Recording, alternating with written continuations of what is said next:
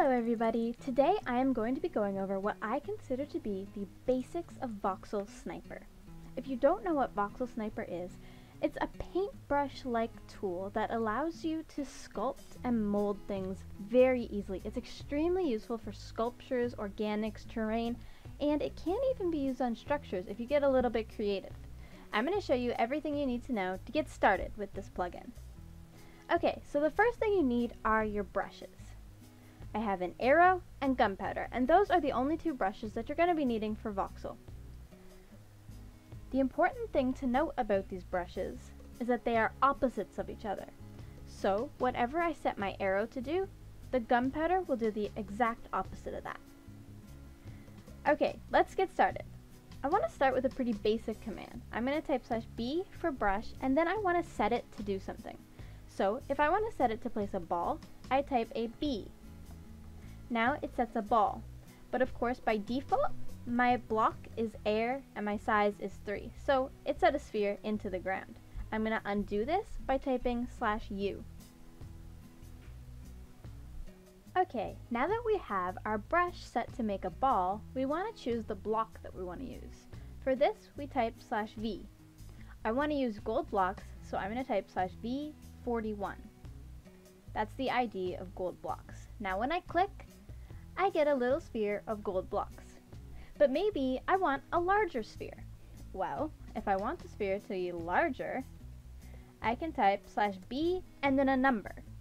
So this is the same as setting our brush, but now instead of typing a letter for the brush type we want, we just type a number. I'm going to do 8 for a much larger sphere.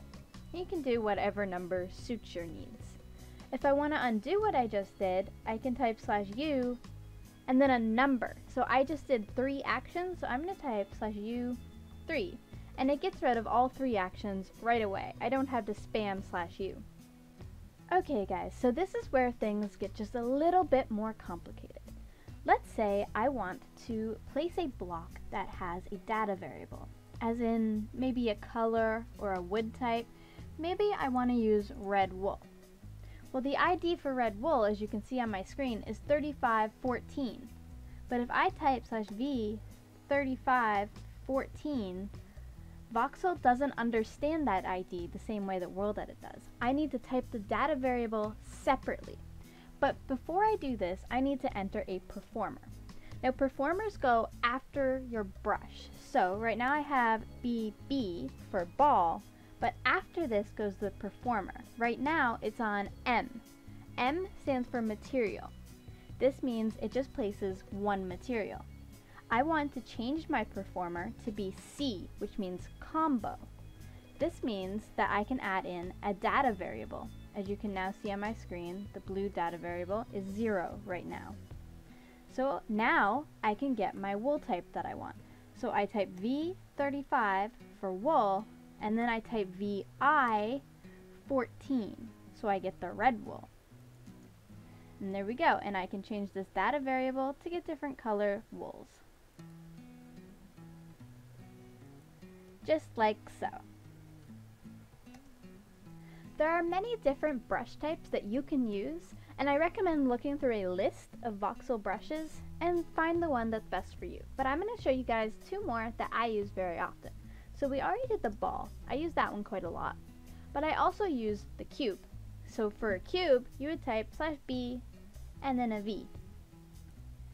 And now we have a cube of wool. Of course, my performer is still on uh, material. I need to switch that to C so that I can get my colored cube. Just like so. Another thing I use is these splatter brushes. What a splatter brush is, is it basically adds air between the shape that you're getting. So if I want to have a splatter cube, I would type S in front of my V. And now you can see it's, it's definitely splattered, right? I can do the same thing with a ball. This is one that I use very often for tree leaves. B, S, B, C, and maybe we'll change our V to 18 now and you can see that I get nice big circles of leaves. Of course, normally I use a much smaller brush size, something like this.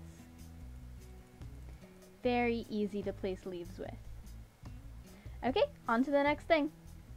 Okay guys, so let's say I have this clay ball here, and I want to paint the terrain around here this color. Well, I need to use my performers for that. So I'm going to set my ball BB, and I had it on C for combo, but now I need a number after the C for my replace material. I'm going to type M, because the material I'm going to be replacing is stone. BBCM. You can see that my performer is now set to combo and material. Now, when I click on the ground, it doesn't do anything. That's because I haven't set my replace material. To do this, you can type slash BR and the replace material, which in this case is 1, or you can simply shift and click to set your replace material. And now it goes super easy. And the shift clicking is something I recommend you do because I can shift as I'm going and replace any material that I want if I want to change. I just simply shift, click, to replace it. And now the world is pink. it's perfect. Okay guys, so now we've got this little mountain over here and I'm going to be demonstrating the erode brushes on it. So, to start we're going to get one typed in to our arrow here. So we start with slash BE, so brush erode. And now I want to pick the erode brush that I want. I'm going to be going with lift for this one. So now this brush will lift up any material in front of it. In the radius that I've chosen, my brush size is currently 5, and I can use this to shape my terrain the way that I want it. And this right here is where it comes in handy to have your gunpowder doing the opposite. So our gunpowder right now is going to be set to melt without us even doing anything because it is the opposite of our arrow. So the gunpowder now, now allows us to melt away at this terrain without typing in any extra commands. This is really useful for making mountains, for sculpting, for doing basically anything with organic things. It's extremely helpful. Another command is BE fill. This one fills in the area. Oh, similarly to lift, but it's not lifting anything up. It's aiming to fill in the area around there. So it's a little cleaner, a little less jagged, and overall a really nice command to have. The next command, which I find extremely useful for smoothing, is BBB. This is the blend ball. Now this is a very useful command for smoothing. Don't overdo it though. That is my only tip when smoothing using this. Although it is way better than World Edit Smooth, it can overdo it and you'll get this staircasing Terra. To combat that, you can see that my brush, because it's set to the opposite of that, is now lifting up. I'm going to do slash BE lift, and to combat the amount of smooth that this is being set to, I'm going to be using my melt brush to actually just kind of mess this up a little bit. And with enough effort and work, you can actually get a really nice pattern going on your landscape. I, of course, am just demonstrating this, so I'm not going to work on this mountain a whole lot. Okay guys, the last brush that I'm going to be showing off in this tutorial is the line brush. So for the line brush, we're going to type slash B and then L. I'm going to type an M after that for material. It's just our performer like we've been talking about before. So now we have a line brush. With this, we're going to right click on our arrow to set our first position and our gunpowder to set our second position. And it draws a line. To demonstrate this a little better, I'm going to use World Edit to go up one. I'm going to pick a spot right there and down here. And you can see that wherever I click this, it draws a line from that point. This is extremely useful for marking out things in organics, and I use it very often, particularly for dragon wings or for marking out builds where I just I don't want to place a line. And you know, sometimes it's a pain to get from point A to point B. Say point B is over here and you can't figure out exactly how to get a nice line over there. Voxel does it very well, and I really like that these these lines that it creates. Okay guys, that is all for this tutorial. I hope you guys enjoyed it and you learned something. I know that I did not cover very much of this very extensive plugin, but there are a lot of commands in this and it would be so difficult to cover it all in one video.